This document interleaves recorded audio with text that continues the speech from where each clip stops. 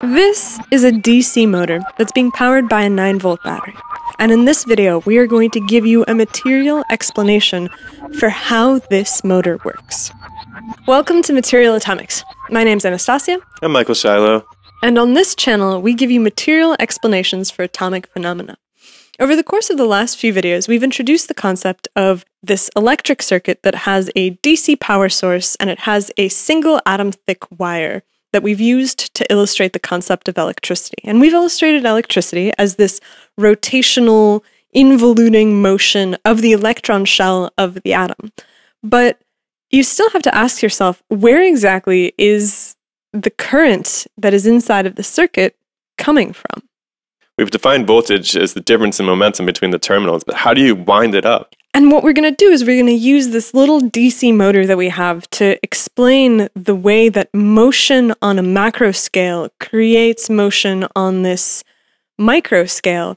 And then after we're done with it, we'll be able to use what we figured out from the DC motor to explain how a similar DC generator could power the circuit that we've been talking about in all of these other videos. And at the end, if we've done a really good job, we'll also be able to explain an AC motor and an AC generator. So let's get to it. All right, so let's take a look at our DC motor here. There's a couple of really critical pieces that we need to be aware of. These are static magnets, which we'll discuss in a separate video. But needless to say, they have a north pole and a south pole, and they're fixed. They're always going to have the north over here and the south over here on this side. Now, in between them, we have this coil of wire. And the coil of wire is fed into a positive and negative lead at either side. Well, they're opposite polarity leads, and you can see this one. If I turn it, there's a wire running down the back here. And then on the other side, there is another, the opposite uh, polarity contact there. So what happens is when this coil is at a particular angle like this, at about a 45 degree angle, it makes contact with these terminals here. And these terminals go off and they connect to whatever we connect them to, in this case to our battery. The geometry is set like this, at an, the coil is at an angle, we have a continuous circuit running all the way down through this coil and around to the two terminals of our battery. And so you get a current in the coils only when it's at this 45 degree angle away from the axis of the magnets that are fixed. That's right, exactly. Is that important? Yeah, it's important. So, what happens is when you have a current carrying wire and you loop it around like this, we've done with these coils, you create a solenoid, which is a basic electromagnet. In other words, as long as there's current in the wire, you can generate a magnet inside of this coil system, which I've illustrated here. In this case, it has a south pole over here and a north pole over here. So you take a wire and you coil it around this tube, and you connect the leads coming out from either end of your solenoid to the battery. And so what you've created is you've, you've created a continuous coil of wire that is now an electromagnet that has a fixed north and south pole. What's really interesting, though, about this coil is that the magnet only appears when there's current in the wire. That means when the, the coil is turned like this and it's not making contact, there's no magnet. Mm. The magnet is a transient magnet. It only appears when there's current, which is only at this point where both of these leads are touching the two pillars here. And that's because you need it to just be there to give it the kick to to to move it. So it's like it's at a 45 degree angle because if it was directly when it was in line with the fixed magnet, it would just get stuck there. Exactly. And so it's at it's it's designed to be at a 45 degree angle so that when the current is on, it's away from the axis and then it kicks it. And you've and you've So let's see that kick really quick. So it's there's no magnet in the coil right now. If I turn it to that point, oh, it kicks. Mm, You Do see it again. that? Let me see that Let's do it again. And then actually again, it makes contact at 180 degrees here as well. It goes into that configuration and ooh, it kicks. mm. It goes in and ooh, it kicks. It's interesting. It kicks more one way than Well, the other way. it's it's not a uh, finely tuned German machine. Ooh, kicks, kicks. Oh, we kind of weak kick on that side. Kick. Okay. So, what's happening, and the reason it's kicking, is because the south pole that appears during that conductive moment ooh, has an opposite motion of its electron shells from the magnet that's static here. Two south poles facing one another means that the atoms in this magnet are all pushing this way, as I've drawn with this arrow here. They're all pushing along the sides this way. And these ones are also pushing that way towards the South Pole. All the shells here along the coil are all aligned and they're pushing that way, at least all of the valence shells that are important. The electromagnet is designed in such a way that when the circuit closes, you always get a south pole that's facing the south pole of the fixed magnet, and you always get a north pole that's fixing the north pole. Every time that you close the circuit, you're going to get the exact same push. And so it doesn't matter where this electromagnetic coil is, every single time you are rotating it to close the circuit and you're getting this kick because the south pole and the north pole suddenly align and they get pushed away because we know that that's what happens in a magnet. The rotation of the shells of the south pole meet the rotation of the shells of the induced electromagnet and they push away from each other and that's why you get this kick. And because of the the geometry of the shaft and the way that the wires are running along the shaft, when you get a strong enough kick, you have enough momentum as it travels around that it continuously is forcing itself towards the next turn. And so it keeps turning and turning and turning and turning and turning. Yeah. So just to be clear, this is easily conceived as a generator as well. All we'd have to do is turn this crankshaft ourselves like this or hook up an army of rats to it on a hamster wheel and turn this ourselves. And by doing that, we're going to run a current into the circuit. What's interesting here is when you put the coil facing a magnet, the coil is facing a magnet, the magnet actually induces the same orientation of the shells in it as the magnet because you have a rotational motion of the shells that are here inside of the magnet. When it's static, you're inducing a specific rotation in this magnet. But when you're flipping it, you're forcing a different kind of rotation in that same coil. Here, we have in the south pole is over here.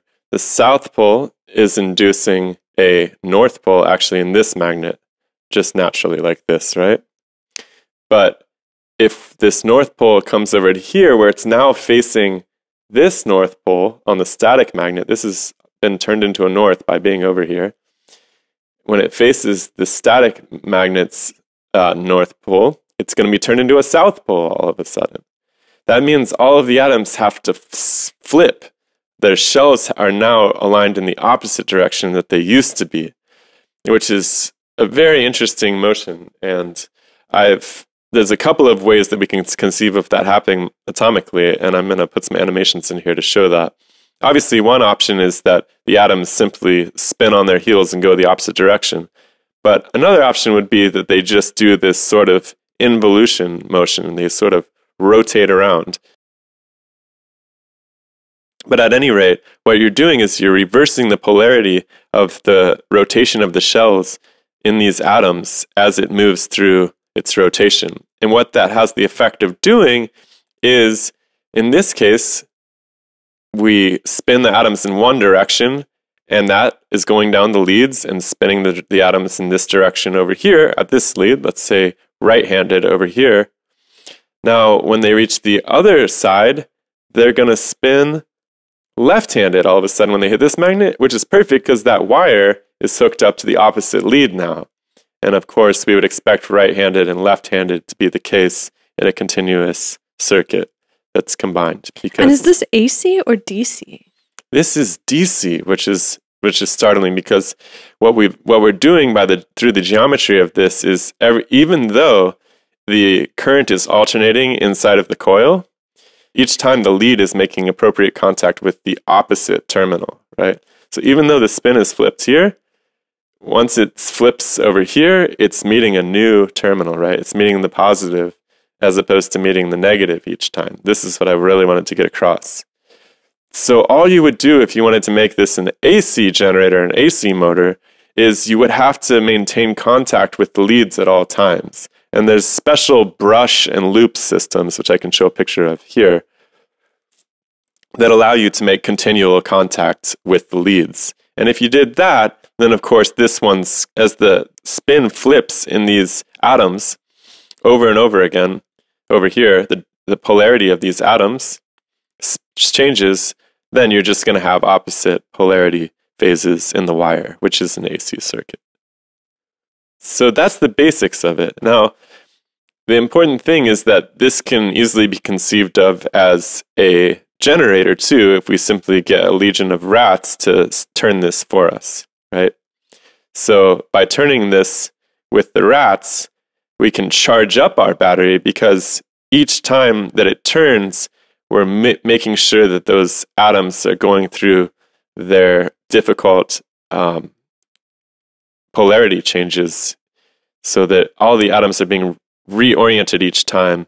And that little kick that goes into reorienting them drives the twist of the circuit all the way down the leads in each case. The physical orientation of the fixed magnet relative to the coil of wire is affecting the atoms inside of that wire. And as the atoms are affected, because they're physically connected as part of the wire, they're affecting the other ones that are next to them. And the rotation of the atoms is what gives you this transient electromagnet inside of a DC motor or a DC generator. And that flipping of the pole of the magnet relative to the fixed magnets as it rotates is what's giving you the ability to create motive force. Yeah, I mean, the motive force ultimately comes down to turning the crankshaft in a generator. You have to put some muscle into it. But by doing that, what you're really doing is you're forcing those atomic shells, the motion of the fiber in the atomic shells, to change directions relative to the shaft or the coil. I mean, you're basically using the the the induction of a transient electric field inside of the coil by the fixed magnets, right? So if you're in a magnetic field and you're moving a coil of wire, you're going to get this transient electric current inside of it. And the transient electric current is is actually a material thing that's happening to the atoms. It's not some magical, you know, it's it's it's not a magic event. No, it's just physical contact between the extended shells of the fixed stators atoms and the coils atoms. And what's really beautiful about this design is that even though the there's an alternating current in the coil system technically it's going just from one polarity in the coils to the other polarity in the coils the fact that the contacts change between the positive and the negative at each 180 degrees allows it to just be directional because every single time the regardless of this having its polarity flipped it's now facing a flipped polarity lead each time. And so the circuit remains continuous and you can drive a dc current in this circuit here so what's next quantum yeah, I think what comes next on this channel is we'll take a break from electromagnetism and we will start to investigate some different spooky atomic phenomenon. We've been growing a list from suggestions at our Discord page and from guests that we've talked to. We also have a conversation coming up with Jeff Yee, who has an architectural idea about the organization of the nucleus. And we haven't talked much about the nucleus yet, so we're going to crack that open. So, yeah, a lot of cool stuff coming up. And of course, we want to hear your suggestions for future videos. Yeah, make sure you tell us if the explanation makes sense or not. This channel is basically the place where we are playing with these explanations out loud for the first time. And so if we've finished the explanation and you're still sitting there scratching your head, we need to know because we need to be able to make a better explanation so that it makes sense. And so if there's anything that's confusing or you feel like we haven't really fully explained, Make sure you tell us and we will fix it. We will make another video and we will continuously keep improving the quality of these because as we go, we realize what works, what doesn't, and what needs improvement. This is probably the not the last time we will be making a video about DC generators, but it is our first video. So hope you liked it and we'll see you guys next time.